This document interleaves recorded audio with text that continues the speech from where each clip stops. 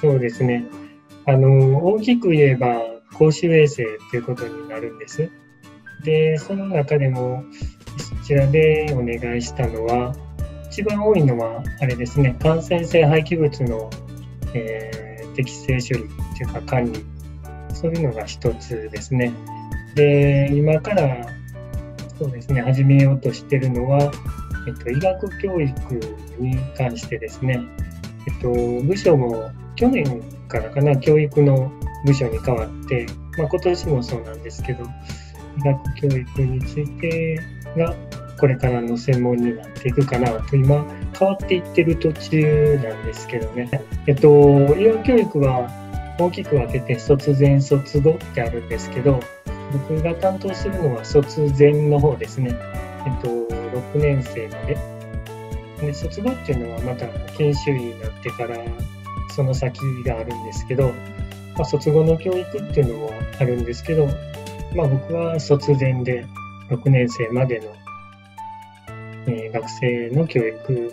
について、まあ方法とか、まあカリキュラムのこととか、えー、まあいろんな、まあ医師になるためのうんまあ、準備というか、まあ、知識だけじゃなくてね、えっと、態度と技能と、まあ、その3点があるんですけど、その3つをバランスよく、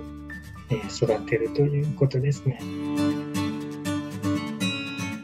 そうですね、今までお世話になったやつは、全部あの投稿のための論文だったと思います。たまたまですかね、あの、えっと、以前は、あの、まあ、電子的に投稿っていうのも、僕が始めた頃はなくて、まあ、紙で送ってて、で、英文構成も、あの、書面で送って、えー、書面で返してもらうというような、そういうことをしてたんです。でたまたまその英文構成してくれてる人が、もうなんか、仕事を辞めるとか言って、あの、してくれなくなって、で、どうしようと思って、あの、ウェブでなんか、英文構成を探してたら、なんか見つかって、うん、で、あ、なんかこれ良さそうやなって、なんとなくそのウェブページ見て、で、決めましたね。うん、最初も、まあ、イントロダクション、結果と、結果の部分とか、やり方の方法の部分っていうのは、割と、そそっけないというか、普通に書けばいいんですけど、イントロダクションとディスカッションのところですよね、なんか、うん、そこがやっぱり自分の中ではどうしようかなっていつも思うところですね。読み手はね、イントロダクションのとことかを読んで、まあ、この論文読もうかな。まあ自分が読むときそうなんですけど、イントラクションを読んだら、なんか、ああ、なんかそのの世界に入っていくというか、な先を読もうかなっていう気になるんで、やっぱりそのイントラクションの部分っていうのは大事かなって思ってて、それが、まあ僕がね、あの、事実を伝えるだけだと、やっぱり味もそっけもないんですけど、なんかいつもこう出してると、まあ、いい具合に本当に書き直してもらって、それはそれでいいなって思ってますね。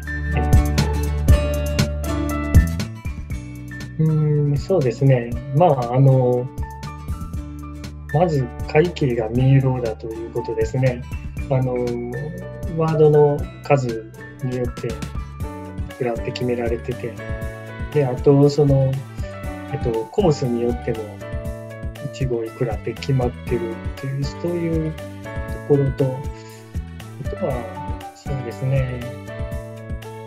まあ、なんやろな、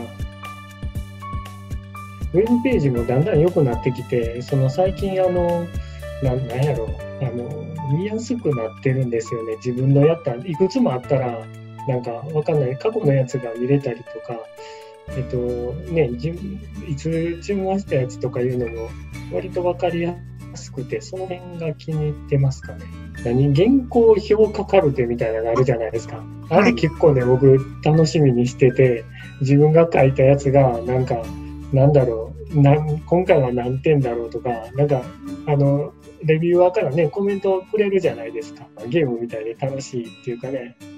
やっぱり、あの、初めの頃は、333とか2とかも時々あったんですけど、だんだんやっぱりやってるうちに点数も良くなってきて、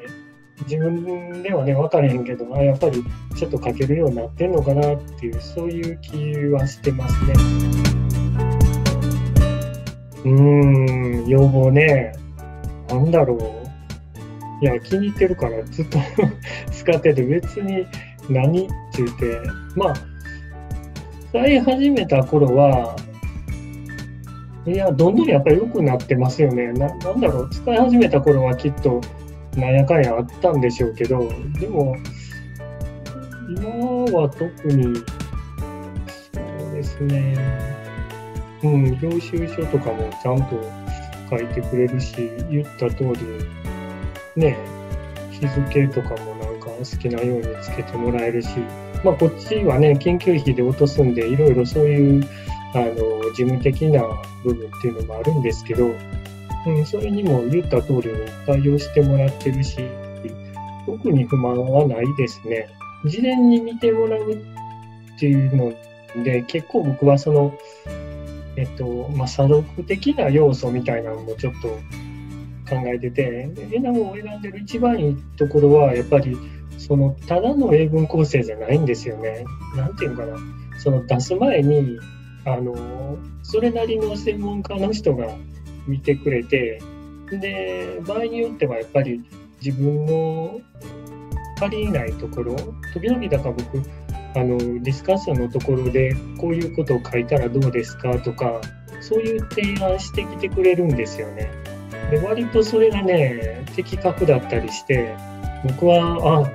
あ、あの、僕やっぱり一人でやってるから、誰もそういうの見て言ってくれる人がいないんですよね。だから必ずそれ出して、で、言ってくれたことに対して、おなるほどなと思って、その後書き加えることとかあるんですよ。それがもっと充実したら、あの、いいな。まあ今でも全然充実してるんですけど、その辺が強化してもらったら僕は嬉しいですね。